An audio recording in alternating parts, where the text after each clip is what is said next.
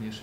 W ogóle to dziękuję bardzo za przyjęcie tego zaproszenia. Em, Inicjatorem em, tego naszego dzisiejszego spotkania jest pan Bartłomiej Bartnicki. E, Jest e, takim pełnomocnikiem wojewody, więc moim wsparciem w obszarze sportu. Cieszę się że z obecności pana burmistrza e, Sławomira Napierały, bo rozumiem, że mamy tutaj do czynienia z talentami mm, na miarę tych, którzy ostatnio nam dali Mistrzostwo Świata w lekkiej atletyce Europy, chyba, Europy, Europy które są, którzy są przyszłą kadrą numer jeden reprezentacji Polski, tak? To jest tak ułożone, że y, Marcin, koleżanka tworzą jak gdyby takie stowarzyszenie u nas, to jest Ruch Start Aquo. Aha. Y, My to dofinansowujemy y, z dwóch źródeł. Jedno to jest z ustawy o sporcie, ponieważ y, klub zdobywa już punkty właśnie dzięki, dzięki różnego rodzaju zawodom. I drugie źródło to jest normalnie dofinansowujemy z ustawy o e, wsparciu rozwoju sportu, tak? czyli pożytku publicznego dla, dla e, stowarzyszeń tej ogólnej. I e, zasada jest taka, że ci wszyscy, którzy osiągają sukcesy i dochodzą do jakiegoś poziomu, my nie jesteśmy w stanie zapewnić im rozwoju seniorskiego No tak.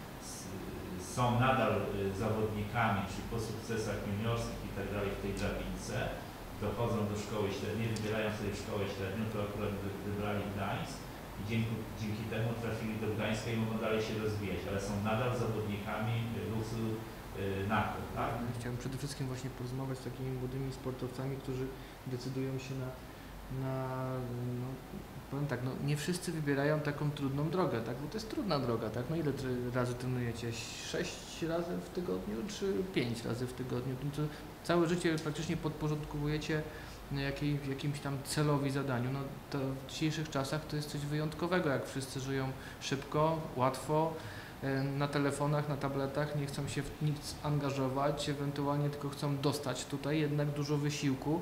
To jest taka droga niełatwa, bardzo szlachetna, e, za co Wam oczywiście dziękuję i wielki szacunek dla Was e, za to, ale to jest dla mnie taka ta, ta no, dobra strona i chęć wsparcia dla Pana Burmistrza, dla Państwa, żeby, żeby to kontynuować, żeby takich ludzi wyszukiwać, wspierać, umacniać w tym, co robią ich rodziców, trenerów, żeby tego nie odpuszczać, nie? To jest ważne. Także tutaj... Mamy 7 grup treningowych, czyli 7 osób z nami współpracuje, między innymi w NAKLE 4 grupy, Ślesin, y, Występ i Paterek. Aha. Y, I dlatego no, tak, stąd taka liczba osób i gdzie możemy wybierać. Y, Przed spotkaniem wczoraj się przygotowałem i do tej pory y, w mistrzostwach województwa zdobyliśmy 6 od 7 medali w różnych kategoriach wiekowych. Więc no, pokazuje, jak, jak, że pracą postaw też u nas jest, że to nie tylko jest obecnie ta trójka, ale są też y, młodzi, zdolni, gdzie, gdzie Tych 200 zawodników na jakiej teraz infrastrukturze jest? Jesteście w kilku miejscach, w jednym miejscu?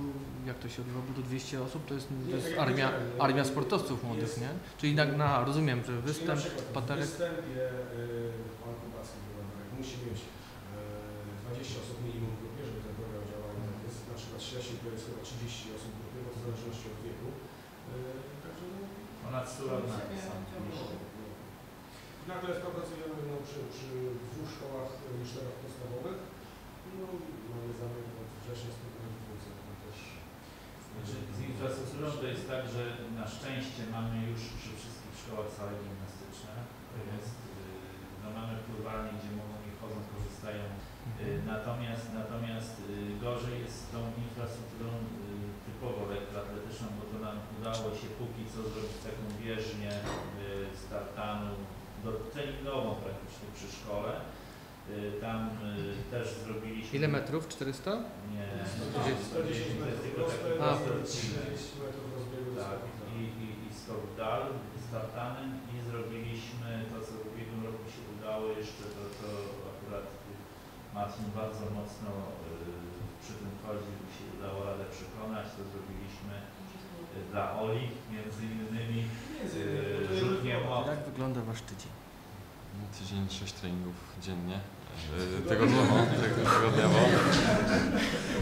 tygodniowo. O kurde. No plus jakieś tam swoje treningi, jakieś rozruchy, rozciągania wieczorne, no cały dzień jest zawalony, plus no szkoła wiadomo, nie? A jak długo trwa taki, jak wygląda taki trening? To pod okiem Od raz- półtorej do trzech godzin nawet. Trzech godzin spędzamy na, na stadionie. roku, sezonu. Ale to też jest na przykład siłownia, y, bieganie, no bo to Tak, wszystko, te tak, wszystkie elementy ogólnie. akurat w życiu mamy szczepem też są ważne. mamy dwa treningi dziennie i Mhm. Trenerzy W jako okresie treningowy dla przygotowawczym. Was indywidualnie dla każdego przygotowują, tak? tak, Tak, w okresie przy- E, No właśnie chciałem powiedzieć, że, że tu jest tak, że mamy trzy tygodnie w szkole i jedziemy na dwa tygodnie na obóz i to tak się co miesiąc obóz przydarza, nie? Także serdecznie Państwu gratuluję, bardzo dziękuję za to spotkanie, dziękuję przedstawicielom również mediów za obecność. Dziękuję.